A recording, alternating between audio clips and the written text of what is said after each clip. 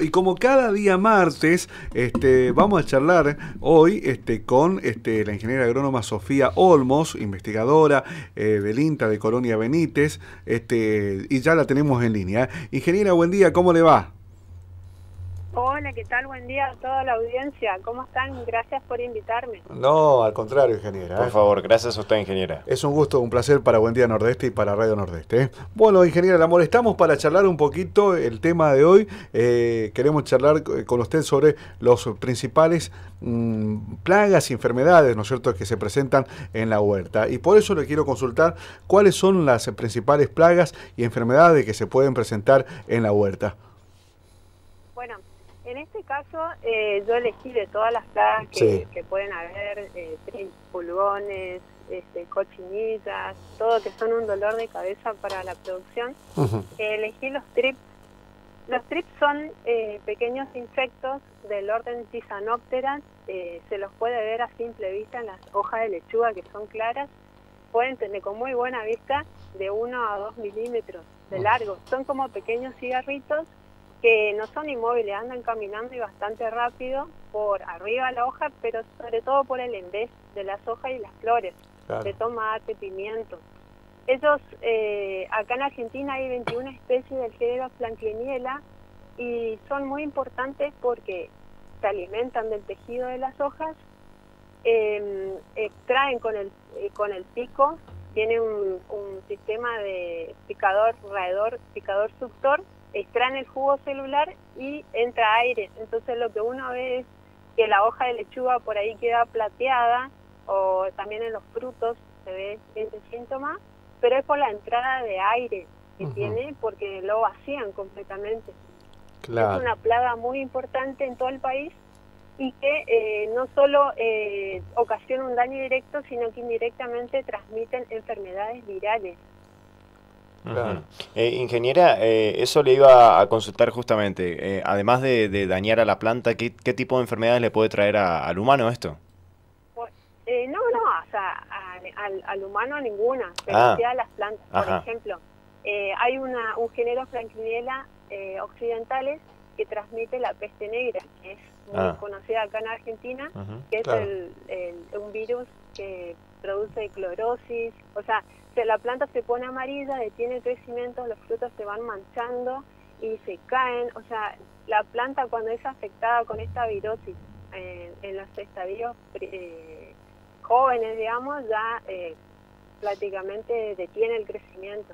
Claro. Ahora, si el, el, el, insecto, este trip, transmite la enfermedad en un estadio más avanzado, después que ya fructifica, no hay problema. Uh -huh. Claro. Y, después tenemos otro trip que ustedes lo habrán escuchado en las noticias en Buenos Aires, que apareció en la zona de la zona urbana que iba todo hacia las piletas de agua, no sé si habrán escuchado. Eh, esto fue por un tema de que eh, se llama Caliotrip facioli, que es un trip del poroto, que eh, ataca las hojas. Cuando este verano hubo altas temperaturas y sequía, hubo un incremento poblacional y fue a, a, infectar la zona urbana y la gente se, se asustaba porque aparecían unos bichitos negros en las piletas de natación. Eso es, y sobre el agua, eso es porque el, estos insectos son atraídos por los colores el amarillo y el azul o celeste cielo y justamente iban atraídos por los colores de las piletas de natación. Ajá. Claro. Ingeniera, ¿y cómo se realiza este monitoreo e identificación de las plagas más comunes? De estos trips, eh, gracias a que los insectos son atraídos por los colores, se utilizan trampas cromáticas, que son andas o objetos, por ejemplo, uno puede fabricar una trampa de un envase de lavandina, pero tiene que ser el brillante, uh -huh. le pone un poco de grasa, aceite vegetal o grasa de motor vieja y lo deja, digamos, a un metro sobre eh, las plantas. Entonces los insectos son atraídos por eh, esto y uno puede eh, identificarlo cuando quedan pegados y lo puede ver en una lupa, por ejemplo, o con el celular de esa forma. Entonces también comprando, por ejemplo, unos platos celestes del bazar o azules, hace el mismo trabajo de, de, verlo con este aceite y ahí se puede lograr la captura, porque son muy chiquitos para, para verlos. Eso es lo que se hace. También estas trampas sirven de tratamiento de control. Se importan en Argentina y se lo utilizan en los viveros de tomate, de pimiento, por ejemplo. Eh, son bandas de 40 centímetros de ancho por 100 metros de largo que son autoadhesivas con un pegamento que se llama UV, que es que reaccionan con el sol y quedan más duros. O sea, el, pegote es bastante adhesivo y se lo coloca más o menos un metro bordeando todas las plantas, todo a lo largo del el perímetro del, cultivo. Y esa forma, además de monitoreo, sirve para el control. Es una forma de control ecológico.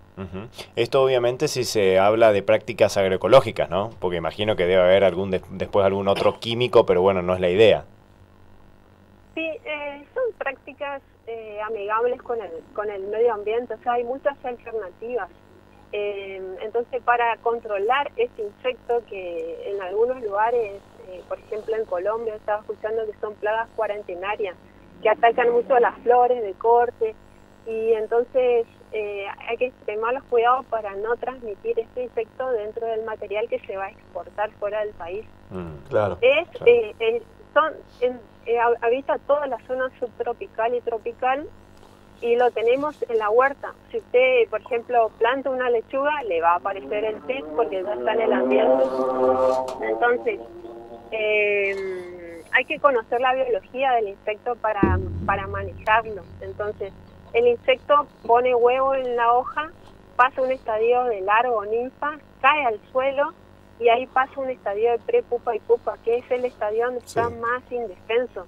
Entonces ahí es donde se pueden aplicar en los invernaderos, en los entresurcos, aplicaciones al suelo con productos eh, permitidos, digamos, eh, que no están en contacto con la planta.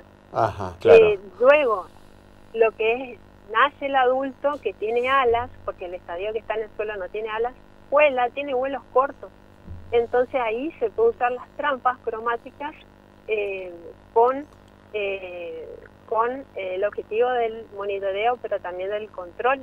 Claro. Y también tenemos productos químicos que se llaman banda verde.